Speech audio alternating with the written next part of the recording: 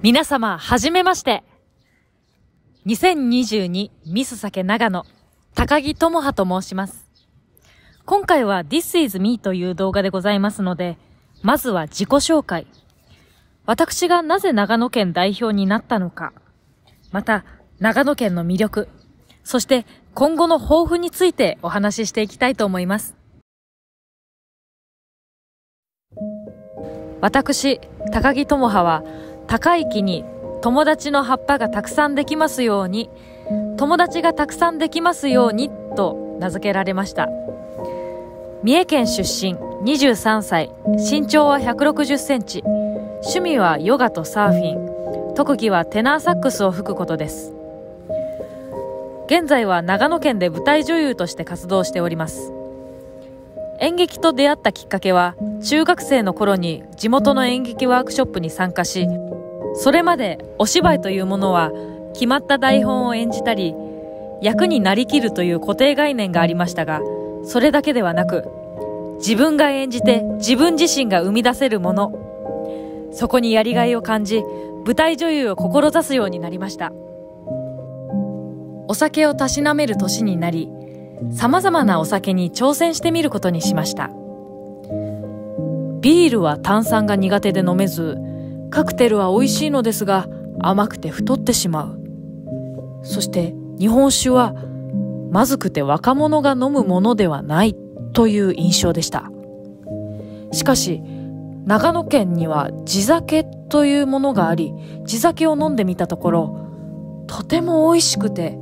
普段から米を食べる日本人にとって体に合っていて、美容や健康にもいいということを知り、私はすぐに日本酒の虜になってしまいました。地酒とは、特定の地で生まれた酒を意味し、日本で2番目に酒蔵が多い長野県は80を超える酒蔵がございます。私が住んでいる松本市は、松本城を中心に形成された城下町で、駅周辺は地酒を置いた飲み屋さんがたくさんあります。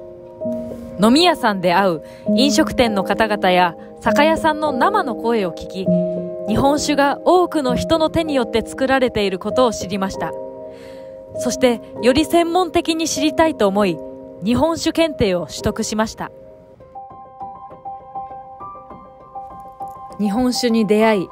日本酒を好きになったのは長野県だったからと言っても過言ではありません。では、なぜ長野県がこんなに日本酒が美味しくて、たくさんの酒蔵があるのか。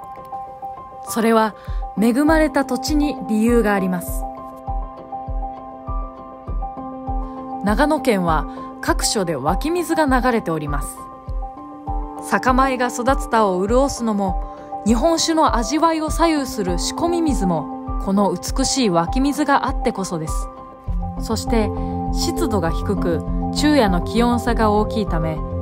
夏は良質な酒米を、冬は缶作りの良質な酒を育みます。また、酒蔵が位置する標高は300メートルから800メートルまでと様々で、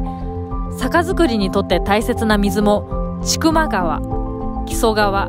天竜川、鈴木川と、それぞれの水から作られます。四季の変化に富んだ長野県の美しき風土こそが長野県の酒造を支えているのです。2022ミス酒長野として日本酒はまずいという固定概念から美味しい若者も飲みやすいという新しい価値観を広げていけるように努めたいと思います。また、昔から歌舞伎やお芝居を見る際にお酒を飲みながら見るという日本の文化がございます。私の動画は日本酒を飲みながら楽しんでいただけるようなそんな動画を投稿していきたいと思っております私たちの活動を応援してくださる方はこのミス酒チャンネルのチャンネル登録と動画の高評価をお願いいたします最後までご覧いただきありがとうございました。